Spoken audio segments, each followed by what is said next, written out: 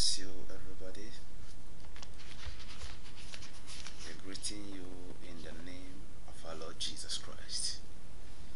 Um, this morning we're going to look at um, Proverbs chapter 3. And by the way, this time we call it inspirational time. So you can give us your time so that you can listen to the Word of God. Proverbs chapter 3 from verse 1. It says, My son, forget not my law, but let thy heart keep my commandment. Verse 2. For length of days and long life and peace shall they add to thee. Verse 3 and 4. Let not mercy and truth forsake thee. Bind them about thy neck, write them upon the table of thy heart. So shalt thou find favor and good understanding in the sight of God and man. Verse 5 Trust in the Lord with all thy heart and lean not unto thy own understanding. Let's pray. Father, we thank you this morning because of your word. We thank you because of the reading of your word. We know that your word giveth life. It is by your word that the world is created and established.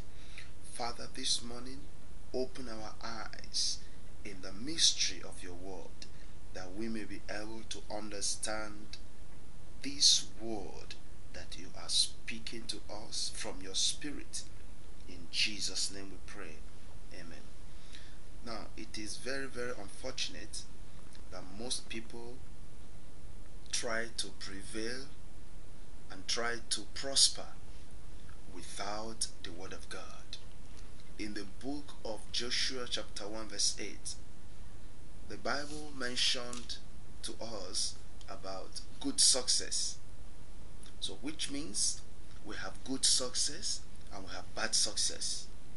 So, the good success is the success and the prosperity that comes from the Lord.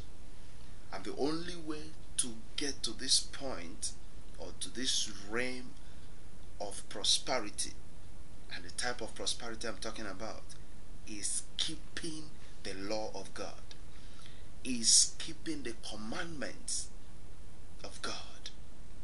so that we can get ourselves into good success and also attract the longevity of life. Now you may wonder why is it that men die so quickly? They live a short life today because there is no law of God abiding in their heart. They are not ready to keep it. Some of us we know it, but we are not ready to maintain the principles of God, which says in the book of Deuteronomy.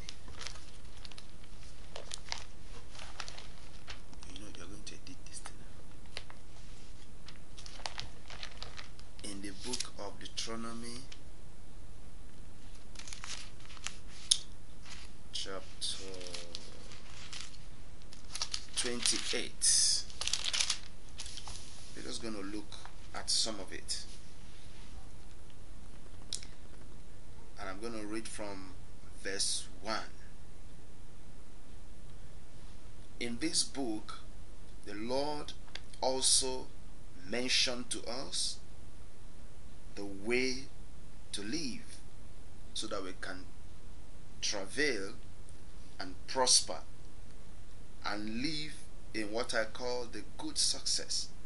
Verse 1 said, And it shall come to pass if thou shalt hearken diligently unto the voice of the Lord thy God, to observe and to do all his commandments which I command you this day, that the Lord thy God will set thee on high above all nations of the earth. And all these blessings shall come on thee and overtake thee if thou shalt hearken unto the voice of thy God. Blessed shall thou be in the city, blessed shall thou be in the field. Blessed shall be the fruit of thy body, and the fruit of thy ground, and the fruit of thy cattle, and the increase of thy kind, and thy flocks of thy sheep. Blessed shall be thy basket of thy store. Blessed shalt thou be when thou comest in, and blessed shalt thou be when thou goest out. The Lord shall cause thy enemies to rise up against thee to be smitten before thy face. They shall come out against thee one way and flee before thee seven ways. The Lord shall command the blessing upon thee and the storehouse, and in that thou settest thy hand unto, and he shall bless thee in the land which the Lord thy God giveth thee. The Lord shall establish thee an holy people unto himself, and he had sworn unto thee, if thou shalt keep the commandment of the Lord thy God, and walk in his ways, and all people of the earth shall see that thou art called by the name of the Lord, and they shall be afraid of thee. Praise the Lord. Now we can see from the book of Deuteronomy, chapter 28, that the Lord also is telling us about the things, the good wills that is attached to this keeping of commandment, keeping his commands, not haphazardly, keeping all, and that is when the full blessings shall come upon thee. So many people are moving around today doing some businesses that are not legal, doing some things that are not worthy of God. Yet they go to church. Yet they stand in His presence to shout hallelujah. I wish God was man. Sometimes when we are shouting that hallelujah, He will tell you to shut up because you are not worthy of His presence. Because we are saying something else and we are doing something else. So if we can give our heart totally today, give our heart so that our faith may stand in the Lord Jesus. Our faith will not be shakable. When we stand, no matter the condition that you find yourself in today, I know that tomorrow will be better.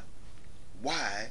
Because your faith is in the Lord. He that put his trust in the Lord shall never be ashamed, according to the book of Psalms. You will never be ashamed when your trust is fully in God. But if you trust your wealth, if you trust your schemes, if you trust your skills of craftiness, then you will surely be ashamed. One day, you will find yourself in a shameful condition.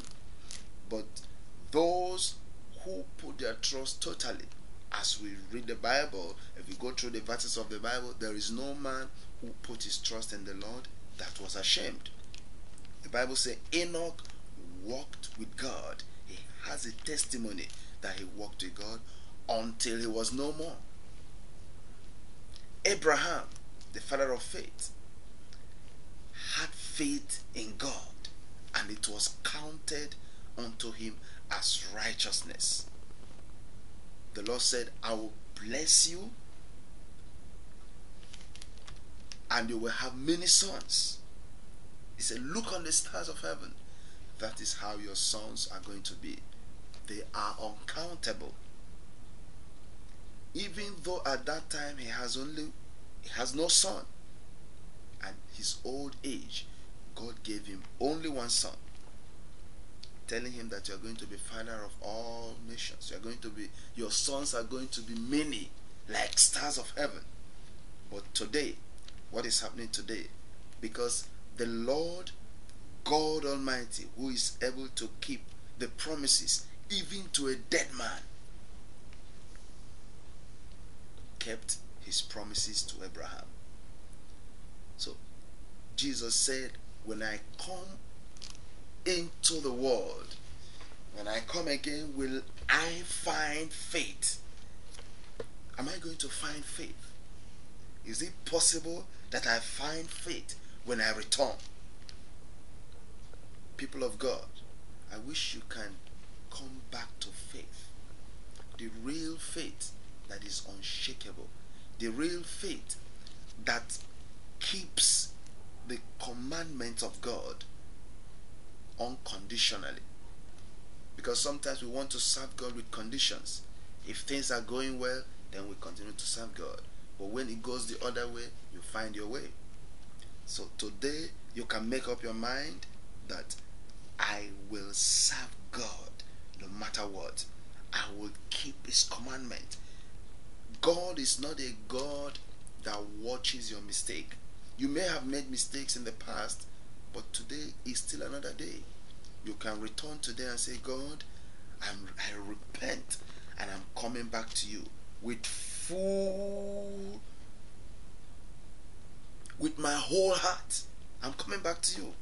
And you will see the Lord God Almighty showing himself mighty on your behalf.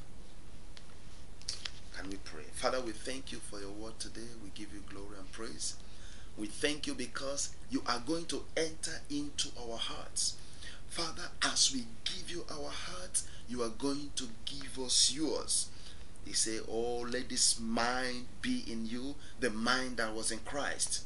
Father, we depend on you for this mind so that we can have a sound mind. We can make a sound decisions. We can move and travail and prevail and prosper and also hold our hands in that promise that is long life oh god. Father we thank you because as many that are coming to you today, you are going to anoint them, you are going to touch their heart, you are going to touch and extend your powerful hand, Father, into their lives, that they will be able to worship you in truth and in the spirit. Father, we thank you. Is there anyone that have backslided? Is there anyone that is finding it difficult to obey you? We ask for your strength and ability, your grace, O oh God, to be upon such soul that that soul will repent and come back with the whole heart. Come back wholeheartedly to you. In Jesus' mighty name we pray. Amen. Thank you this morning. I thank you for listening. This morning, this message is coming from you, is coming to you from sendme.com.org. It's coming to you from also the Redeemed Pilgrims Ministry. UK. We thank. You can find our number on our website sendme.org.uk. God bless you.